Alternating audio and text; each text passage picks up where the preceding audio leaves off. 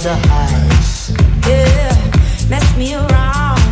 And now you keep calling, wondering if you can make it right.